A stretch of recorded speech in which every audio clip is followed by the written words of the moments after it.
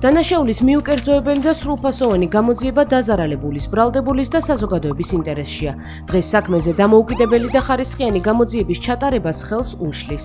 გამოძიების პროცესში პროკურორის წამყვანი როლი, გამომძიებლის სრული დაქვემდებარება პროკურორზე, გამომძიებელთა კვალიფიკაციის და მომზადების პრობლემა. მოქმედი კანონმდებლობით პროკურორს უფლება აქვს შეცვალოს ან გაუქმოს გამომძიებლის ნებისმიერი გადაწყვეტილება და ქმედება. მისცეს სავალდებულოდ შესასრულებელი მითითება გამომძიებელს. უშუალოდ ჩაერთოს საქმის გამოძიების პროცესში, მიმართოს სასამართლოს მნიშვნელოვანი საგამოძიებო მოქმედებების ჩატარების შესახებ, შეცვალოს საქმეზე გამომძიებელი. შედეგად ნეიტრალური გამომძიებლის ნაცვლად გამოძიებას წარმართავს ბრალდების მხარე, პროკურორი.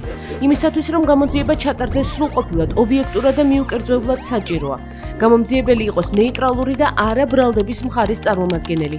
საგამოძიებო მოქმედებების ჩატარებაზე გადაწყვეტილება დამოუკიდებლად მიიღოს გამომძიებელმა. პროკურორმა ზედამხედველობა გაუწიოს მხოლოდ გამოძიების კანონიერებას. გამოძიების ხარისხის უზრუნველყოფის მიზნით შეიქმნა საგამოძიებო სამსახურის ხელმძღვანელის პოზიცია. ყველა გამომძიებლისათვის სავალდებულო მოთხოვნად განისაზღვროს უმაღლესი იურიდიული განათლება. შედეგად უზრუნველყოფილი იქნება როგორც ყოველმხრივი და ობიექტური გამოძიების ჩატარება, ასევე რეალური საპროკურორო კონტროლი გამოძიებაზე.